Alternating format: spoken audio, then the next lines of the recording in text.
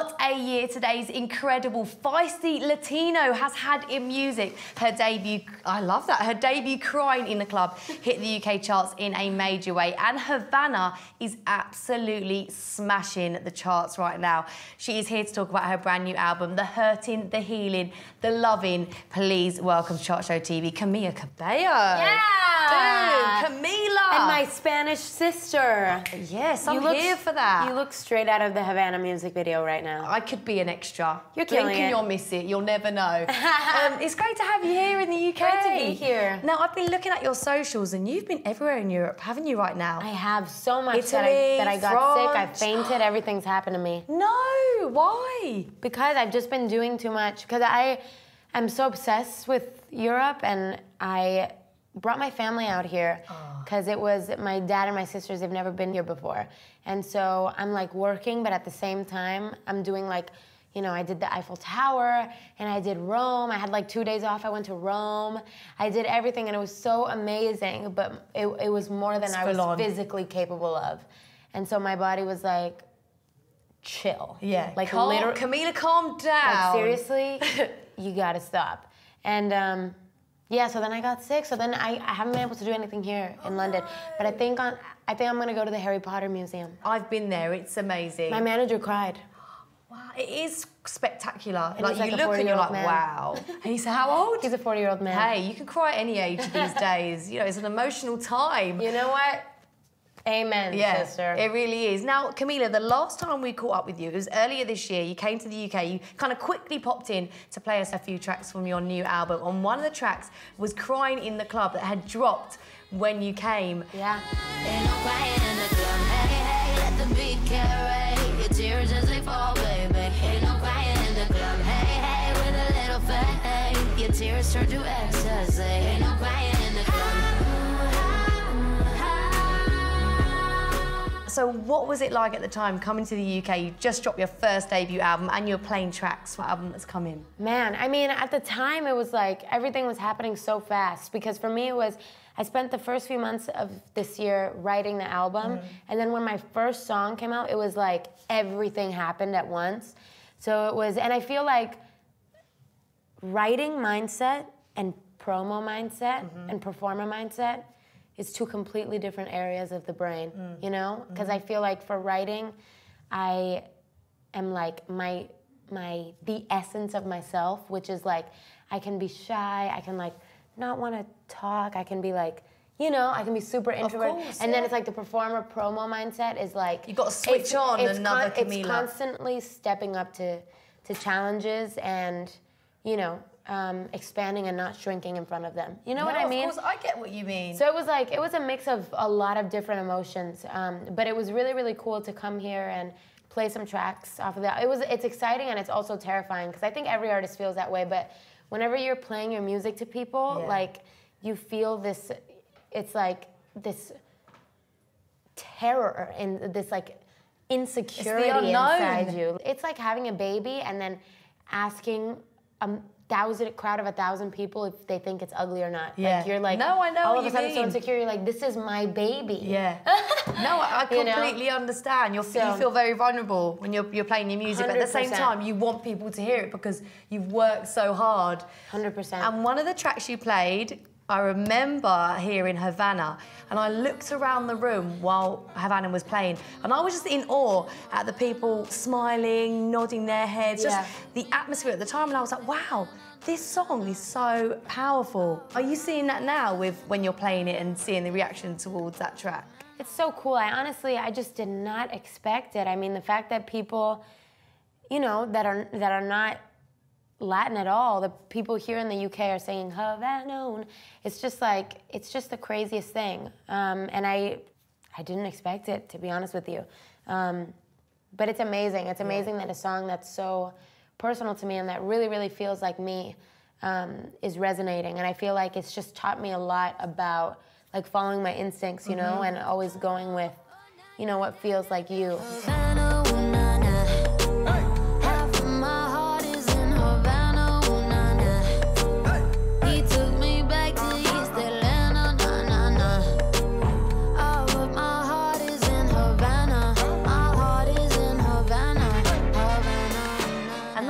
Somewhere that it wasn't an easy song to write.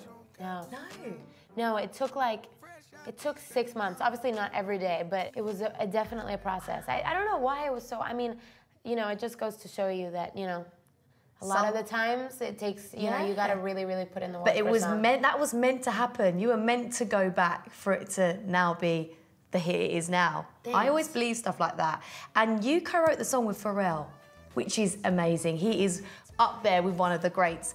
And I can imagine you kind of being in the studio with him, really um, embracing Also his whole aura. Yeah. I was gonna say, I just said in another um, interview, I was like, um, the first person that I went into the studio with by myself to write was Diplo, and I we got so nervous that I had acid reflux, and I was gonna say Pharrell also gave me acid reflux. like I was seriously, I don't know, it was just, it was crazy. I didn't even think that he knew who I was, you know. So it He's was. so on it though with music, isn't he? Yeah. And I'm sure he was aware of you for a very long time. That's what he told me, Yeah, and I was I- like.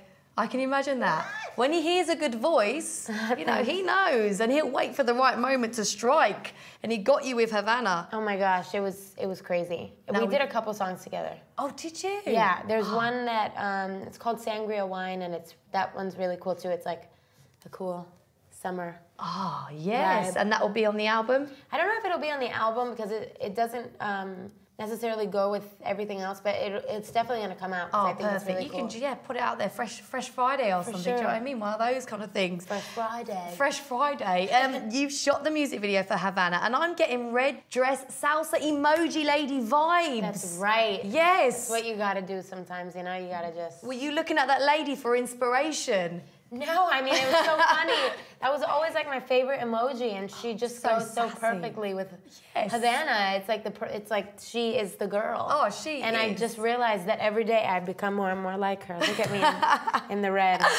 Look, you've got to embrace it. You know. And I reckon we should check out that very video right now. We're going to take a look into Camila's Cuban heritage. This is Havana on Chart Show TV. Enjoy it. Havana,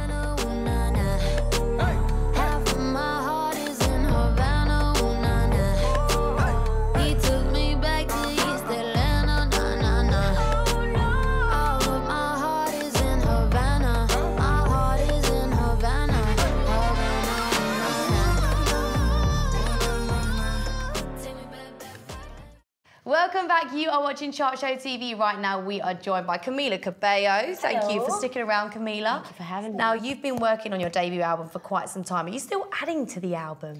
Um, Or is it done? No, I'm kind of perfecting. Um, there's a, a couple. There's actually just one song that um, it's kind of like Havana in the sense that the seed of the idea is there. Yeah. But we've just had to kind of develop it because it's not quite gotten there yet. Yeah. Um, but it'll definitely be out early next year. Oh, perfect. Yeah. I can't wait. You've I teased me wait. with the tracks I've heard so Honey, far. I am ready. I'm, I'm literally ready. Um, now, have you played any new songs to any of your musical friends? Because I know you've got a lot of friends out there. Did you kind of send anything to anyone and say, look, what do you think about this track? The only person that I sent um, music to before it came out has been Shawn. Shawn is so on another level talented, not only Yes. as a musician, but just incredibly smart. Amazing. I actually saw his show um, this year.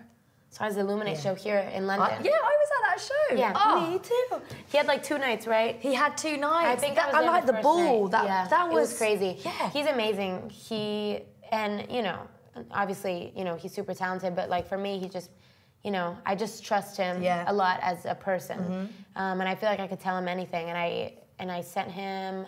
Um, like questions and crying like before they came out just to like ask his opinion and you know he was like super super sweet about it he's like i love questions whatever and um, every time i see him i'm like waiting for the next chance to see him so i can play him my album because every time i see him he like has to go super fast and i don't get the chance but um, You have to sit him down, and he's got an ear for it, hasn't he? He's really like he he's knows. also just like i feel like he's just honest you Yeah. know i feel like if he didn't like something he would tell me you know which is a good friend to have. Hundred percent. you have got to have those friends around. And I think that's just because I've known him for a long time. Because I think other people, if I ask them, you know, which makes sense to not hurt my feelings, Yeah, of you know, course. people can just be like, yeah, that's really, really good.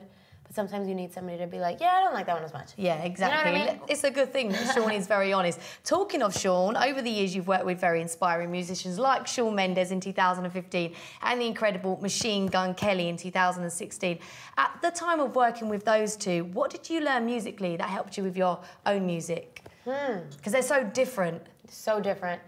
Um, what did I learn musically? I don't know. I think that for each of those, I was in a different um, phase of, of my life. And I feel like with Shawn, that was like my first time ever doing something by myself. So it was super, super scary for me to step out on my own and do something like that.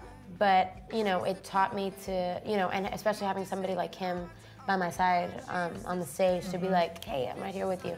You know, that that was really, really, that was really good. Coming home, coming home. I know what you did last summer. Just like to me, there's no other.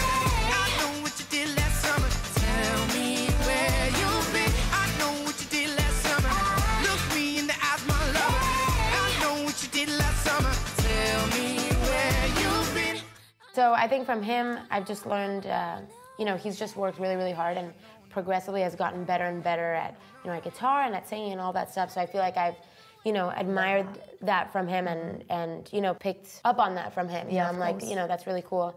And I think with MGK, um, it's about his just like, he has this passion.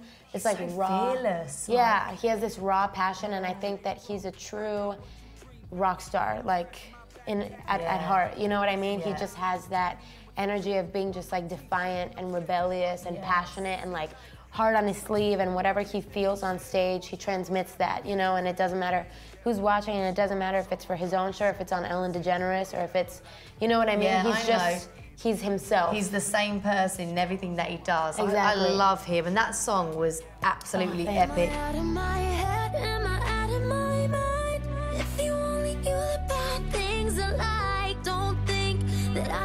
Explain it. What can I say? It's complicated. Don't matter what you say, don't matter what you do.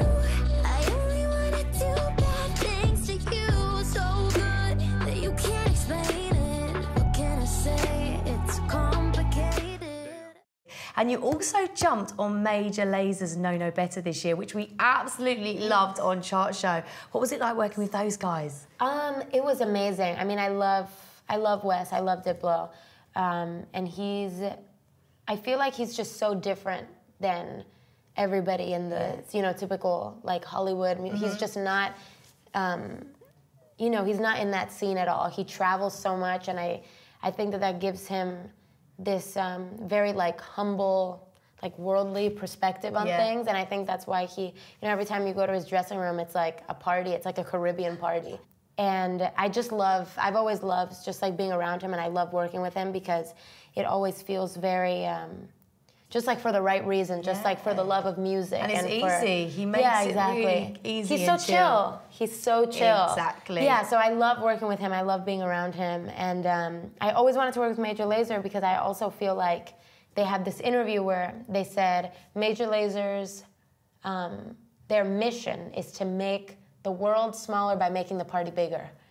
And I was like, isn't that so amazing? Yeah, that is so nice. And I feel like their whole thing is about bringing people together Yeah. and like peace is the mission and happy vibes, exactly positive and, and- and just the whole world coming together Yeah. and um, I don't know. I've just really always wanted to collaborate with them. So Know No Better was like the perfect, you know, first opportunity, and hopefully we get to do many more. Yeah, you know no better.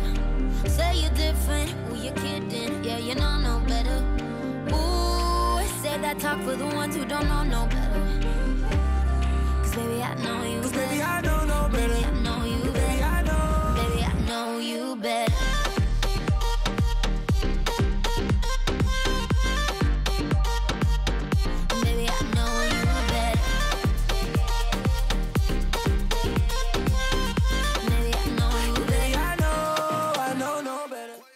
Perfect. I love that. Also, quickly, I know when you have your days off, you listen to music. Who are you listening to right now that you're obsessed with that we should know about? Um, right now, I'm listening to. I'm listening actually to a lot of um, Alejandro Sanz. Oh. he's this amazing singer-songwriter. Oh, Sam, Um, check that out. and he he's like one of the biggest ever to to do it. Um, and I grew up listening to him, and he's like a poet basically. He's a, he's a he has amazing melodies and amazing songs and amazing music, but his lyrics are literally poetry. And I grew up listening to him because my parents loved him. But I feel like now that I'm, you know, I'm 20, it's like I'm rediscovering him in a way. I'm like.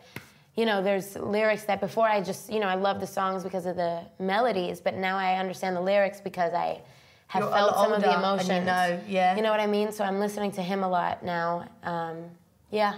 Perfect. I'm going to check him out because I've never heard of him before. So I shall do that. Do it. And I've got a guy for you that you should check out. So I'll tell you afterwards. Okay, but cool. you'll love this track.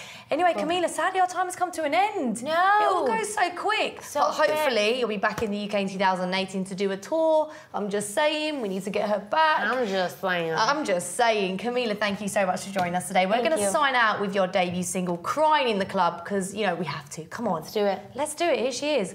Camila Cabello, Crying in the Club, Chart TV. Enjoy. Open up your heart to me. Let the music lift you up like you've never been this free. Till you feel the sunrise. Let the music warm your body like the heat of a thousand fires. The heat of a thousand fires. Ain't no crying in the club. Hey, hey, let the beat carry your tears as they fall, baby. Ain't no crying in the club. Hey, hey, with a little. Your tears turn to.